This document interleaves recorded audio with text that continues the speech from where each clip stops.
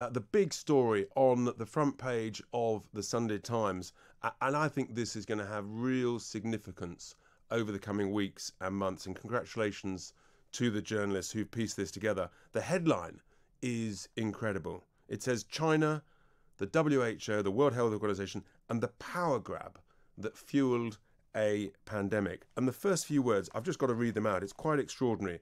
The World Health Organization missed its only chance to stop the COVID pandemic after a campaign by China to secure influence over its decision making. I mean, that is a bold, big, huge claim to make. And I think this is going to uh, to run and run. And so I really want to dig into this report in detail. We've got uh, with us, joining us uh, on this Sunday morning, Sam Armstrong, who is the communications director of the Henry Jackson Society, who's been very close to this issue of uh, looking really closely at uh, where, uh, wh- you know, where COVID came from. Because if you remember, at the beginning, we were originally told that it came from the wet markets. That was the story. And that anybody else suggesting anything, such as it might have been leaked from a laboratory, uh, that was a conspiracy theory. Indeed, there was a British scientist, uh, Peter Daszak, who actually led a, uh, he instigated a letter, uh, I believe it was in the Lancet, that said that anybody suggesting it was anything other uh, than the wet markets, that it came out of the wet markets, and the, the idea that it could come from a laboratory uh, was absurd. Um, and yet, actually, now uh, everything has completely changed. So, uh, Sam, a very good morning to you. Thank you for joining me uh, here on Talk Radio. I mean, I know you've been really close to this issue for some time. Uh, were you aware of this Sunday Times investigation, and what are your thoughts on it? You'll have looked through it in detail, no doubt. Yeah, well, look, I've wouldn't comment in any great detail, but it's I think it's fair to say that I've spoken to some of the guys at the Sunday Times in some of their earlier investigations um, about COVID's origins, and I think it's a credit to them that they've worked really hard on a subject that, as you rightly say, was being swept under the carpet for a very long time. We've seen in recent weeks that at the New York Times, according to the Spectator magazine, there was a real effort to say there can be no looking at this uh, question of where the virus came from, other than the official narrative at, at all. And then joining them in that were the social media companies. And the social media companies, the mainstream media, I would never say this in any other circumstances, but I'm afraid to say they did co conspire to hide from the British public, the American public, what we're now beginning to see is likely the truth of where COVID came from, which is a spillover event within one of the two specialist COVID research laboratories that are in Wuhan. And, and I mean, that in itself is an extraordinary uh, thing, isn't it? That there are two specialist laboratories, they happen to be in Wuhan, and the one thing that everybody does accept is the virus came from Wuhan. So, you know, when President Trump, when he suggested that it could be a lab leak, he didn't definitely say, as I recall, but he said it could be a lab leak. I mean, he was he was roundly attacked by, uh, you know, by by media and social media all over the world in the way that they always did with him. And in a sense, him saying it probably actually, uh, you know, did the cause of, the, of investigating into it. Um, it, it almost damaged it. Well, look, sadly, you're right. And it was just this instinctive, knee jerk response to anything that Trump said. But you're right to pick up on, on Wuhan. Wuhan is a, is a pretty random, pretty uh, uninteresting in most respects Chinese city. It's, it's one of uh, hundreds of cities in China. Uh, it is thousands of miles, about 1,200 miles away from the nearest caves that hold the horseshoe bats that uh, are the breeding grounds for these types of coronaviruses. And it is famous and unique for nothing in the world other than being the global center of study for these types of viruses, exactly the viruses we're having now. They have their own colonies of thousands of bats. And actually, I think these bat colonies are, are, are the sort of most interestingly, conveniently forgotten part of it. Yeah. Everyone's been saying, look, it's probably an animal spillover. Yeah, that's, that's probably right. But why on earth was it not even possible to say on social media for a year and a half the truth that these labs kept bats. In fact, they've gone and got patents from the Chinese patent office for cages in which you can breed bats. They wanted their own self sufficient supply of bats here.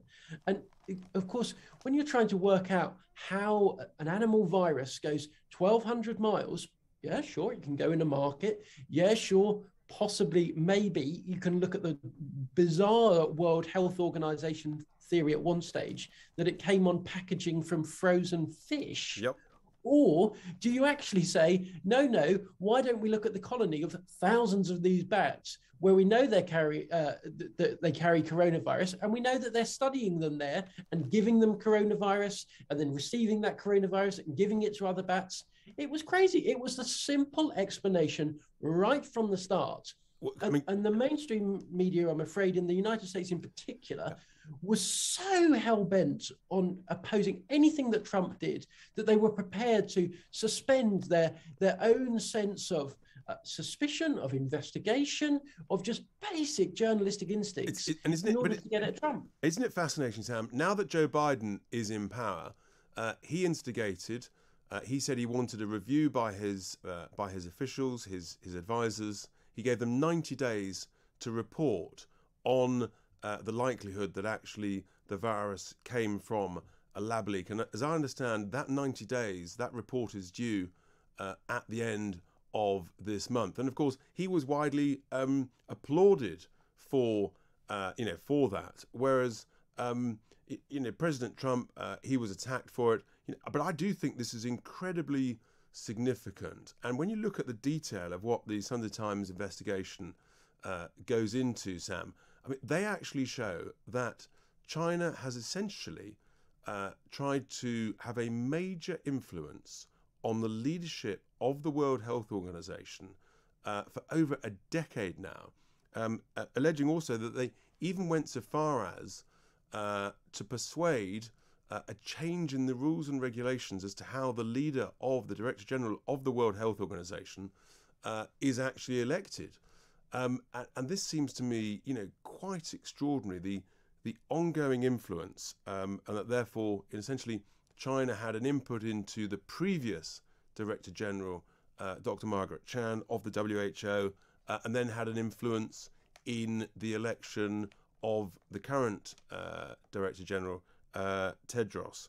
Um, what are your thoughts on that? Because I mean, yeah, this is really serious allegations that uh, that they're making. It's been talked about before, but you know, this is this is really significant. It feels to me.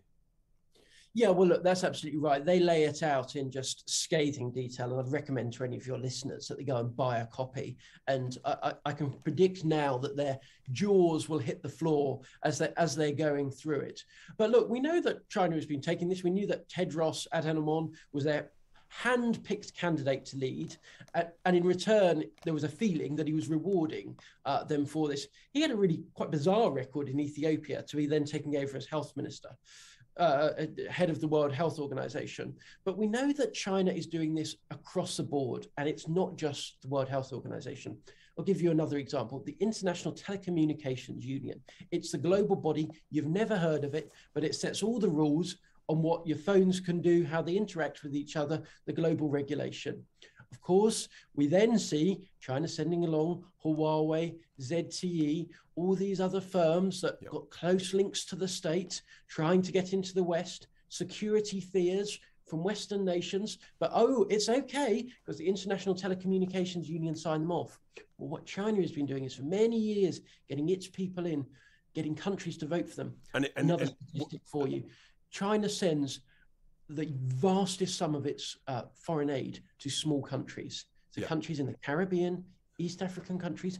Why? Because for a little bit of money, you can buy a lot of votes yep. in these one member, yep. one vote international. So, so, the allegation here is that China uh, actually cancelled the debt that was owed by smaller countries who had a vote in the election of the Director General, and that China uh, cancelled uh, that debt as long as the, the country voted for, in a sense, uh, China's candidate. I mean, I should just state, of course, that the Sunday Times did ask the World Health Organization to respond to the claims, and the WHO put out a statement saying that the Sunday Times was rehashing old events, falsehoods, and baseless claims, uh, adding that the WHO's top priority is uh, ending the acute stage of the pandemic. Well, that's all very well, but these allegations, uh, I don't think uh, they're going to go away. I think they're really, really significant.